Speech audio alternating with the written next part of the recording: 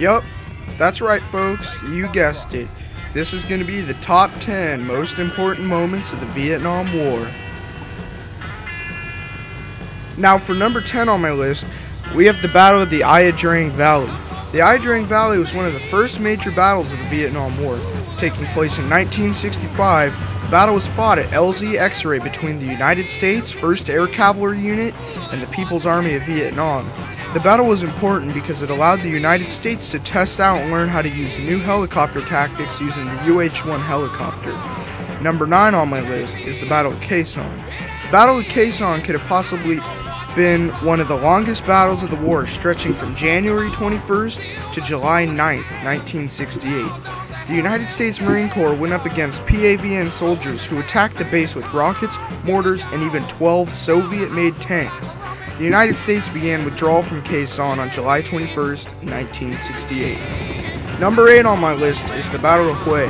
The Battle of Hue was what many call the deadliest battle of the war.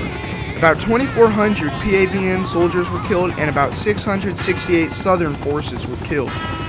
Hue is one of the was one of the strategic points in the NVA's plan to take over Vietnam during the Tet Offensive. Now for number 7, we have Operation Linebacker.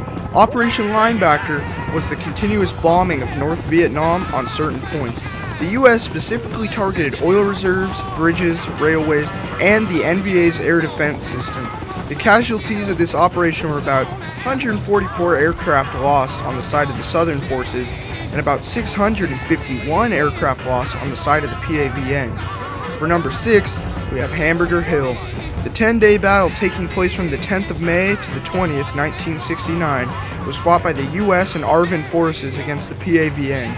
500 tons of ordnance were dropped on Hill 937, and the Southern forces took 103 casualties, while the PAV PAVN took anywhere from 630 to 1600. For number 5, we have the Tet Offensive.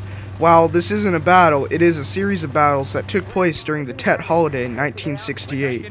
The VC attacked major cities like Saigon and U.S. bases like Phu Bai and Chu Lai.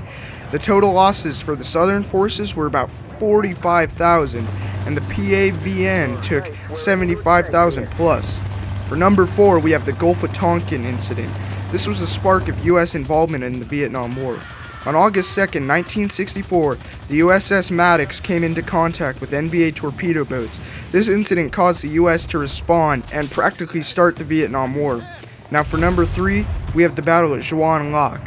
This battle was fought between ARVN and PAVN forces. This was one of the last major battles that came before the fall of Saigon in April 1975. For number two, we have the Battle of Fire Support Base Ripcord. This was a 23-day battle between the USMC and PAVN forces in 1969. This is considered one of the last major battles between the US and North Vietnamese Army in the war.